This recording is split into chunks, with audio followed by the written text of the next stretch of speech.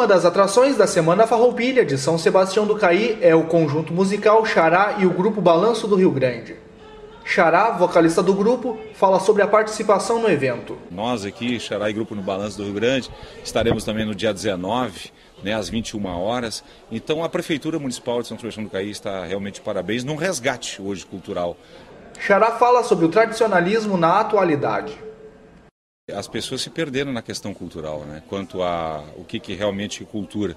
Já começa pelos grupos, né? O cara lá grava tchê e tal, bom, ele é gaúcho, né? Então se confundiu muito o que é cultura e o que é consumo de cultura.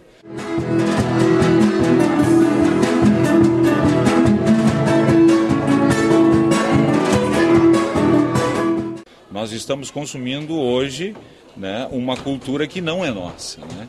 E que está aí nos bailões né, e está tomando conta de uma geração que está deturpando também, está sendo deturpada. Então, é, essas, essas questões, como essa Semana Farroupilha, em São Sebastião do Caí, vem através desse resgate, principalmente com a gorizada, trazendo escolas, trazendo jovens para dizer, olha, a cultura realmente está acontecendo, é, é dessa forma.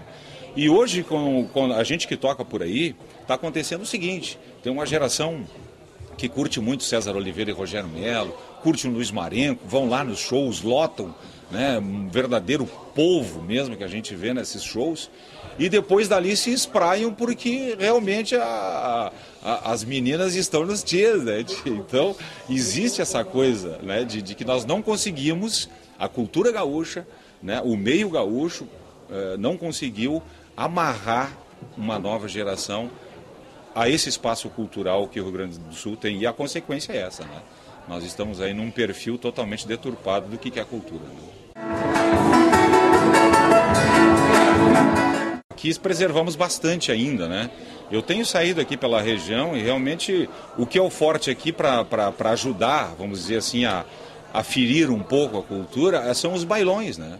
Os bailões vêm e o pessoal vai pilchado, vê um Tchê Garotos, vai pilchado, vê Tchê, não sei das quantas. Então todo uma, um, um, um mote cultural que ele está despregado né, da, verdadeira, da verdadeira parede cultural que dá o suporte à cultura gaúcha. E nós temos que trazer, então quando a gente faz um movimento desse, como a Prefeitura está promovendo esse ano, de uma Semana Farroupilha com todas essas ações culturais é realmente ter responsabilidade sobre o resgate da cultura gaúcha e sobre a disseminação da verdadeira cultura. Que